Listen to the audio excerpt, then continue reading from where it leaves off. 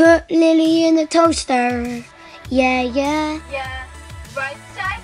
I put Sophie in the toaster. That's what you get. Lily heated me up and she cooled me down. Oh. Lily heated me up and she cooled me down. I was dancing with a toaster all night, all night, all night. I popped out and missed out and landed in a toaster. Let me out, nobody about. Let's heat the toaster so we can have some toast get out. Please let me out.